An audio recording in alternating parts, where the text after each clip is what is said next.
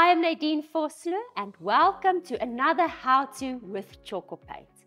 Today I'm going to show you how to make over the kitchen in your house. Something that can cost a fortune can now be made over in a very cost-effective way and it still can be the feature in your house. I'm going to show you step by step how to follow this process. First of all, you need to clean your kitchen cupboards well. This is key to success for everything else that's going to happen. I'm going to show you how to clean and prepare your kitchen surface and we also have a stunning how to cleaning guide that you can refer to for this step. I'm putting on my gloves. We are going to work with a chemical. No sanding, no priming is required, but we do want to make sure that we remove any grime, grease, oiliness, on our kitchen surfaces. I use my lacquer thinners. I pour it in an old bucket or container. To clean my surface, I'm going to use a piece of scotch pad or a rag and I'm thoroughly going to immerse this in my thinners and wash off my surface.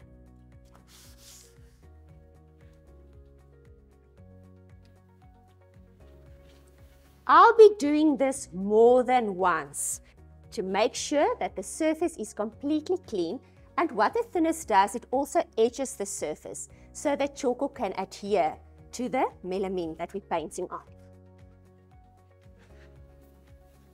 Very important is to make sure that the thinners has evaporated completely.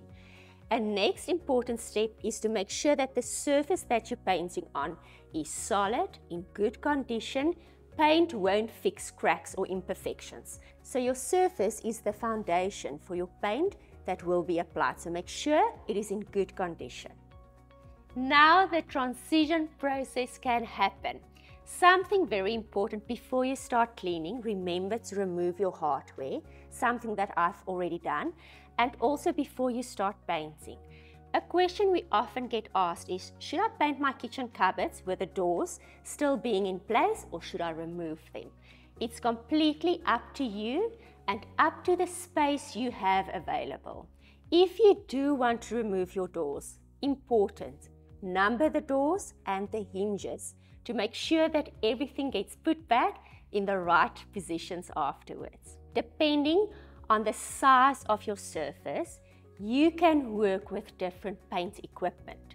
Small to medium sized surfaces, foam roller works like a charm if you work with it correctly. I'll show you how to work with it. Larger flat surfaces, a mohair roller is your best tool to use. If you work with a foam roller on large flat areas, you might tend to press too hard and overwork the foam roller and that's when you will create a rough surface and lines on your surface. It's not the paint that causes it, it's the application and the tool. I'm going to start with cut lines. Cut lines are the areas where your roller can't reach and it's like coloring in a picture. You first do your cut lines and then you fill the gaps in the center. I'm going to decant my paint in a paint tray. There are a few things that contaminate paint, air being one of them. So I'm just going to decant as I need, close my bottle for later use again. Dip my clean, dry paintbrush in my paint and start painting cut lines. Masking tape can be used on areas where you don't want any paint to reach. The color I'm working with and I'm loving it is called Savvy Steffi. Now this color has a person that it's named after and that's part of our ethos is work creation and empowerment. Color is a personal choice. You can use any color that makes you happy. And with Tjhoko, we have such a vast variety from classical to modern and everything in between. To find your perfect color, visit our website for tons of inspiration. I have used my cut line or I have moved with my brush to create a cut line vertically over here and horizontally over there, just because that's the shape of the surface I'm working on. Next, I'll be using my foam roller. So important with a foam roller is to make sure that you distribute the paint evenly everywhere on the roller. To make sure that the paint is evenly distributed, I'm using this section on my paint tray. Just roll it over to make sure that there's not too much or too little paint on my roller. So this actually is a nice balance between not too much and not too little. I'm going to start rolling so that you can see the effect I get on the surface.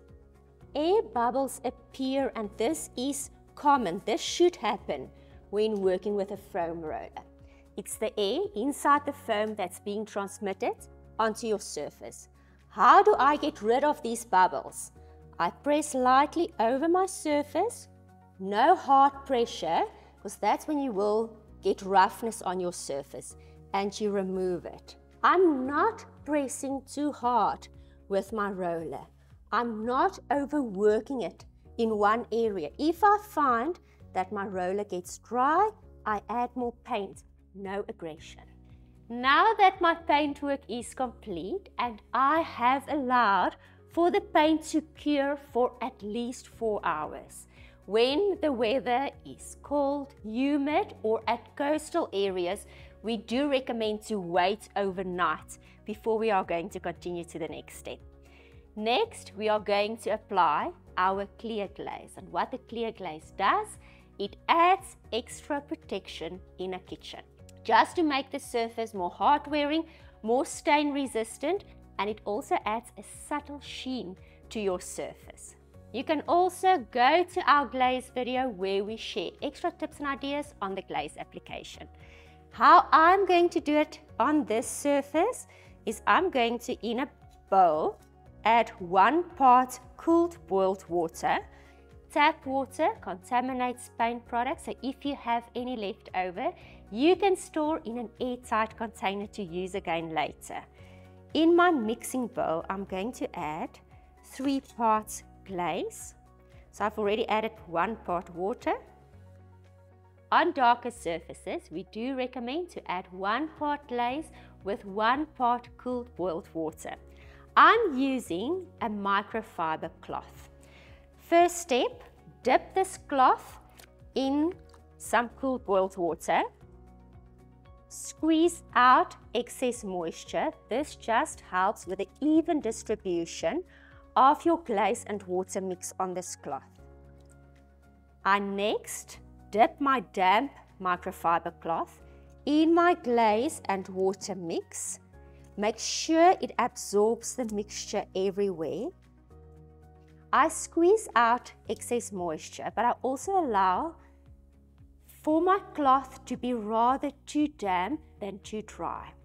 I fold it like a ball in the palm of my hand. Press it flat and now in a well-lit space, I'm evenly going to wipe my glaze onto my painted surface. The nice thing about the glaze, due to the fact that it is water-based, at any stage, if you want to change the color of your cupboards, you can just paint over the glaze again. It gives a beautiful, subtle satin finish to your surface. And if you want to, you can also add a second coat. Wait at least 30 minutes. If you see any streakiness on your surface, that's when the application didn't happen evenly. So then you can just simply wait at least half an hour and just do the application again. Next and last step is just to add new hardware and in an instance, in a very cost-effective way, you have a brand new kitchen. And this is also empowering because you have done it yourself. I hope that you have enjoyed. Please like, subscribe and turn on those notifications. And remember, don't paint it, it.